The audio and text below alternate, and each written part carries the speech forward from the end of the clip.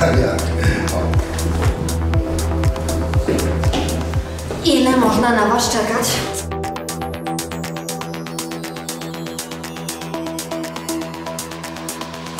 Ogarnijcie się!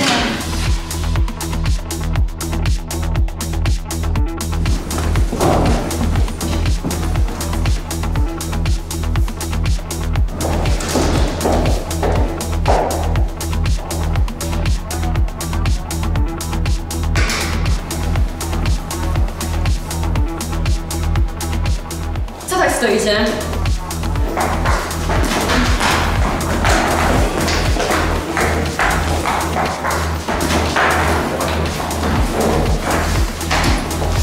Czy naprawdę tak trudno zamówić mi samochód pod wyroki to o to proszę? Czy żądam gwiazdki z nieba? Nie sądzę.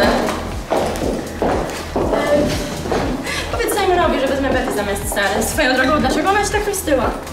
Umów mnie na kolację z mężem w Bristolu, a potem przypomnij im eks-mężowi o alimentach.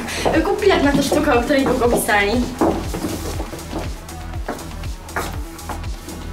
Kto to jest?